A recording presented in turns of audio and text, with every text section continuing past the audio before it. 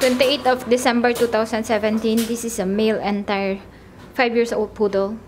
Okay, the purpose of this video is to educate pet owners, dog owners or male dogs, uh, that it's better to neuter them when they're young.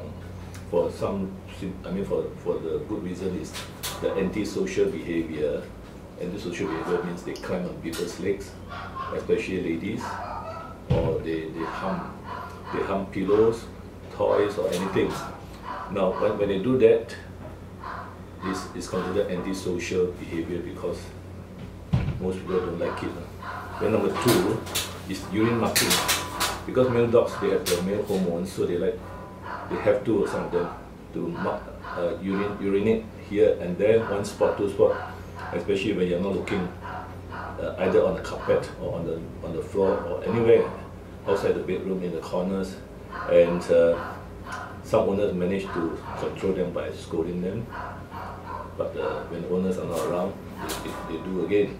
So the whole apartment is smells of urine, and this encourages them to do more because they think that the whole apartment is their, their, their territory. So they have to mark it.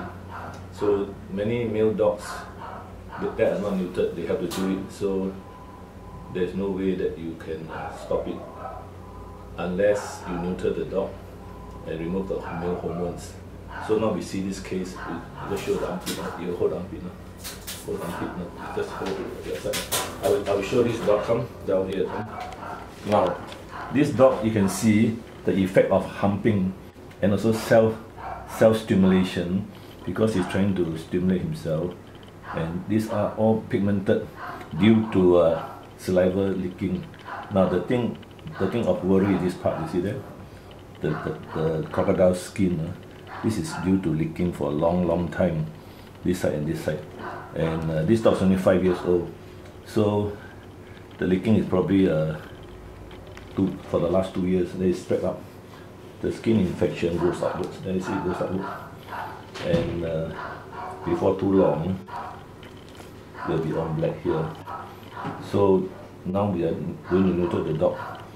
So now this one is probably a, a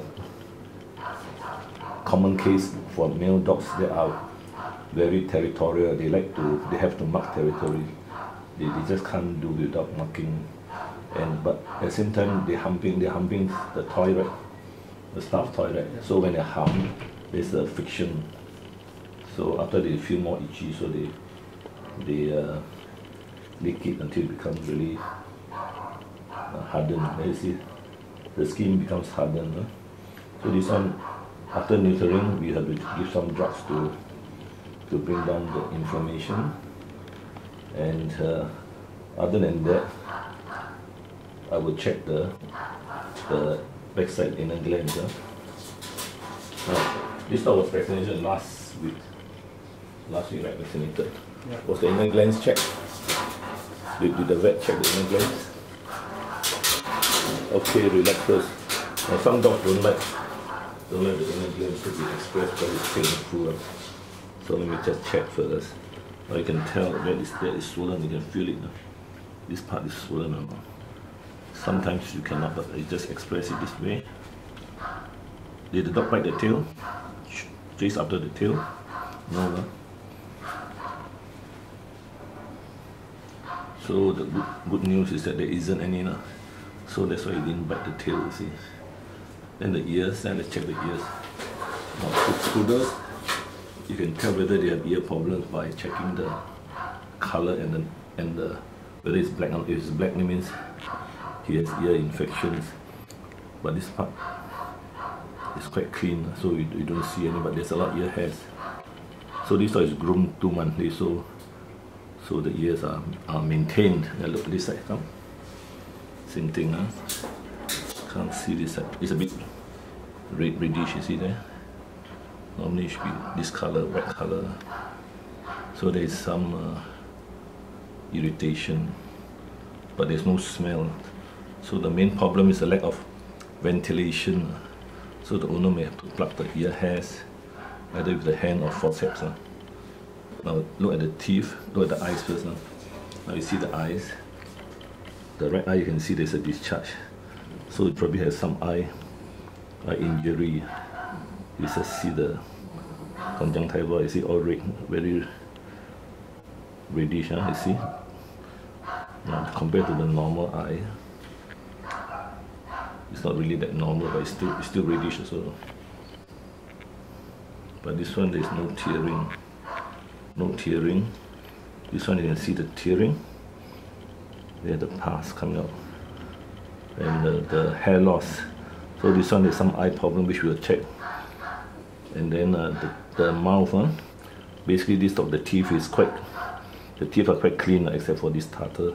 So we just, just uh, scale away the tartar. Other than that, he has, he has no gum disease. His, his mouth, there's no smell. And you can see the neck. But the problem is here, there's leaking. There's scratching, there's scratching, you see? So this is due to some itchiness, you see? Scratching. It's quite a lot actually. It's not obvious. So when the dog scratches the chin, it might scratch the eye. You can see quite a lot, you see?